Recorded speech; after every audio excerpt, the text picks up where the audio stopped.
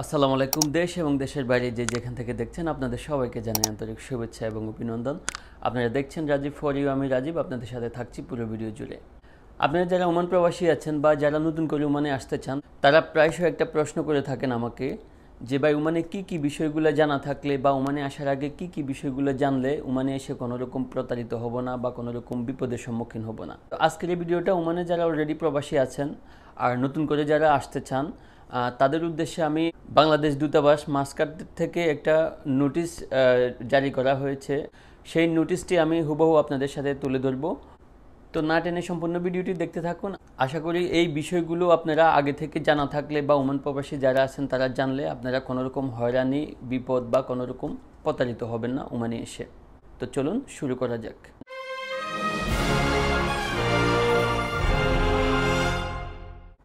আমি এখন বাংলাদেশ দূতাবাস মাসকাটের সতর্কতামূলক নোটিশটি আপনাদের সামনে তুলে ধরছি। ওমান প্রবাসী বা ওমানে আগমনে ইচ্ছুক বাংলাদেশি নাগরিক বৃন্দের নিম্নবর্তী বিষয়গুলোর উপর বিশেষ নজর দেওয়ার জন্য অনুরোধ করে জানানো হচ্ছে। এক নম্বরে বলা হচ্ছে, ওমানের শ্রম আইন অনুযায়ী স্পন্সর নিয়োগকর্তা বা নিয়োগকারী প্রতিষ্ঠানের বাইরে কাজ করা সম্পূর্ণ অবৈধ এবং দণ্ডনীয় অপরাধ হিসাবে গণ্য।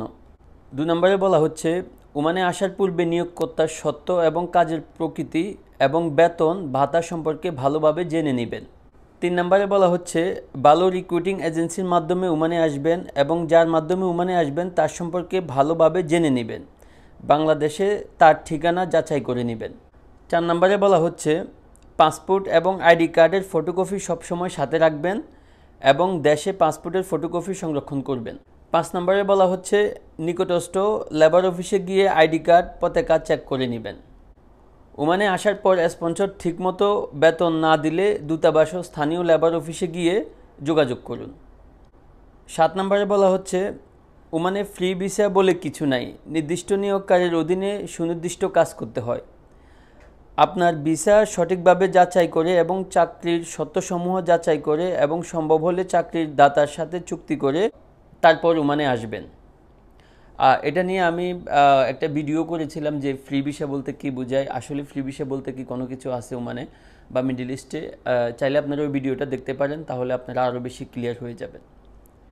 আট নম্বরে বলা হচ্ছে, উমান আসার পূর্বে উমানে অবস্থানরত আত্মীয় স্বজন অথবা এলাকার পরিচিত লোকের নিকট থেকে উমান সম্পর্কে এবং কাজের বিষয়ে ভালোভাবে জেনে নেবেন।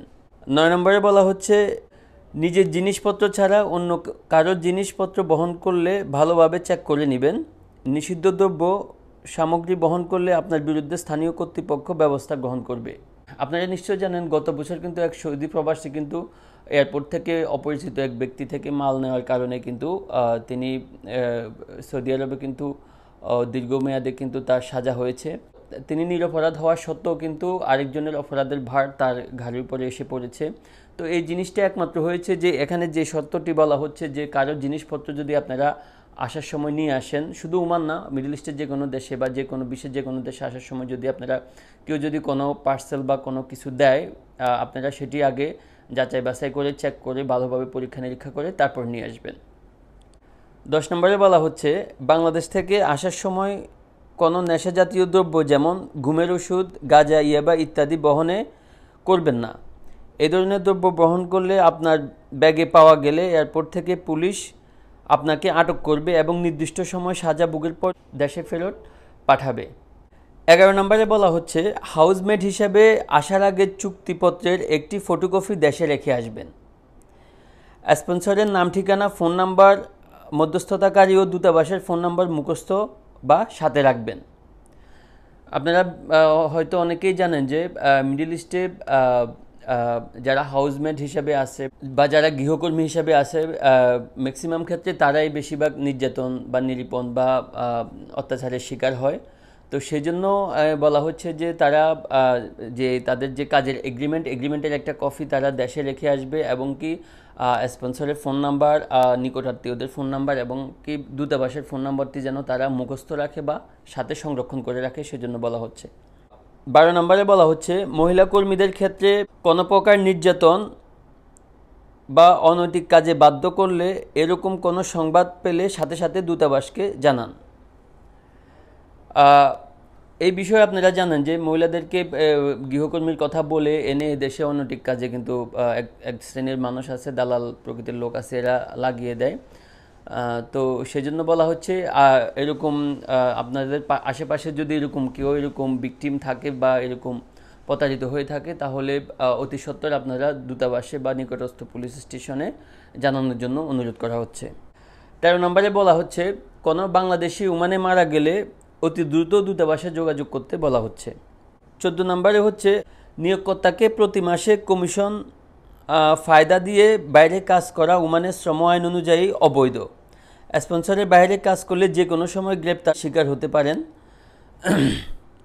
যে জিনিসটি আমি ফ্রি বিষয়ের যে ভিডিও আছে, সেই বিষয়তে সেই ভিডিওতে আমি উল্লেখ করেছি যে আসলে আপনারা যে যে একটা সিস্টেম করে নিয়েছে প্রবাসীরা যে স্পন্সরকে বা আরবাবকে ফায়দা দিয়ে বা কমিশন দিয়ে বাইরে কাজ করা, এটি সম্পূর্ণ অবৈধ মানে শ্রম আইন অনুযায়ী। আপনারা যদি চেকিংয়ের সময় ধরা খান, তাহলে আপনাদের কিন্তু জেল জরিমানা করে আপনাদেরকে দেশে পাঠিয়ে দেওয়া হতে পারে। পনেরো নম্বরে বলা হচ্ছে, হুন্ডি বা অন্যান্য অবৈধ লাইসেন্সবিহীন কোম্পানির মাধ্যমে থেকে টাকা পাঠাবেন না, ব্যাংক অথবা এক্সচেঞ্জের মাধ্যমে বাংলাদেশে টাকা পাঠান। ষোলো নম্বরে বলা হচ্ছে, যে কোনো বাংলাদেশি নাগরিক অবৈধ কোনো কর্মকাণ্ডে জড়িত হলে অতি সত্বর দূতাবাসে জানান বা অবহিত করেন। সতেরো নম্বরে বলা হচ্ছে, অবৈধ বিষয়ের ব্যবসা করে দেশের গরিব নিরীহ নাগরিকদের সাথে প্রতারিত করবেন না। আঠারো নম্বরে বলা হচ্ছে, বাংলাদেশের সমুদ্রে মাছ ধরার অভিজ্ঞতা না থাকলে কেউ মাছ ধরার বিষয় ওমানে আসবেন না।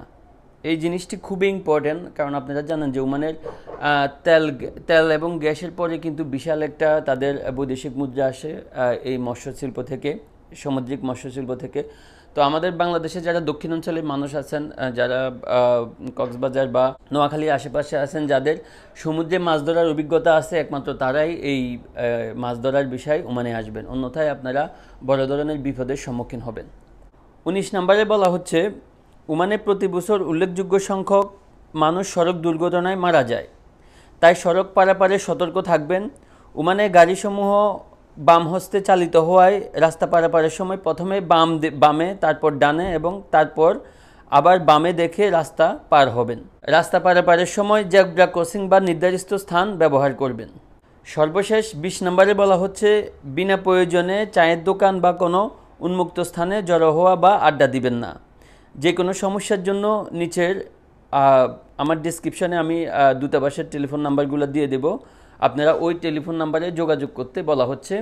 আপনারা যে কোনো সমস্যা আপনাদের কেউ মারা গেছে বা কেউ নির্যাতনের শিকার হচ্ছে বা আপনাদের পরিচিত কেউ অবৈধ অনৈতিক কাজে জড়িয়ে পড়ছে অথবা আপনাদেরকে আপনারা আর- আরবাব কর্তৃক আপনারা আপনাদের যে অধিকার আছে সেটা পাচ্ছেন না, যে কোনো সমস্যার জন্য দূতাবাসের সাথে ফিজিক্যালি গিয়ে যোগাযোগ করতে পারেন অথবা নাম্বারগুলোতে আপনারা যোগাযোগ করতে পারেন। তো এটি ছিল বাংলাদেশ দূতাবাস। মাস্কার থেকে যারা ওমানে আসবেন বা অলরেডি যারা ওমান প্রবাসী আছেন, তাদের উদ্দেশ্যে তাদের একটি নোটিশ তো নিশ্চয়ই আপনারা বুঝতে পেরেছেন, আপনারা যারা নতুন করে ওমানে আসবেন বা অলরেডি যারা ওমান প্রবাসী আছেন, তারা কীভাবে আপনারা কি কি বিষয়গুলো মেনে চললে আপনারা প্রতারিত হবেন না? অথবা নতুন যারা আসবেন, তারা এই বিষয়গুলো যদি আপনারা আগে থেকেই সম্পূর্ণ পালন করে আসেন বা জেনে আসেন, তাহলে আপনারা কোনো ধরনের ক্ষতি বা আপনারা কোনো ধরনের অন্যায় অবিচারের শিকার হবেন না। তো আজকে এই পর্যন্তই। ভিডিওটি কেমন লাগল কমেন্ট করে জানান। দেখা হবে আগামীতে নতুন কোনো বিষয় নিয়ে, নতুন কোনো ভিডিওতে। ততক্ষণ পর্যন্ত ভালো থাকবেন, সুস্থ থাকবেন। এ আশায় ব্যক্ত করে আজকের মতো। খুদা হাফেজ।